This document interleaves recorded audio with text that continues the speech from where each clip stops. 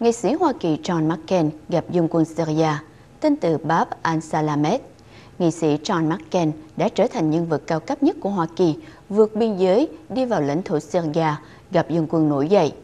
Phát ngôn viên ông Brian Rogers đã xác nhận việc nghị sĩ McCain gặp dân quân nhưng không cho biết chi tiết. Nghị sĩ John McCain là người đã mạnh mẽ vận động Hoa Kỳ can thiệp vào cuộc chiến Syria.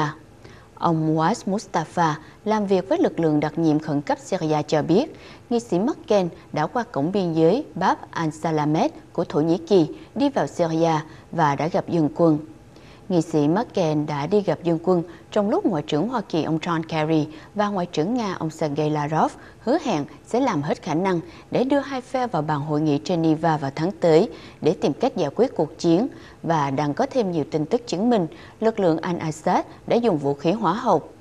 Tướng Salem Idris đang lãnh đạo Hội đồng quân sự tối cao của quân đội tự do Syria đã nói rằng chuyến viếng thăm của nghị sĩ Merkel đã diễn ra trong lúc dân quân đang ở trong giai đoạn nguy cấp và kêu gọi Hoa Kỳ giúp đỡ, trong đó có việc cung cấp vũ khí hạng nặng và thiết lập vùng cấm bài.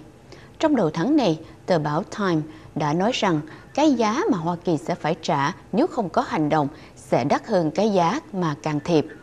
Chính phủ Tổng thống Obama đã gia tăng viện trợ nhân đạo, nhưng không muốn Hoa Kỳ có liên hệ với một cuộc chiến khác trong lúc đang chuẩn bị rút quân ra khỏi Afghanistan.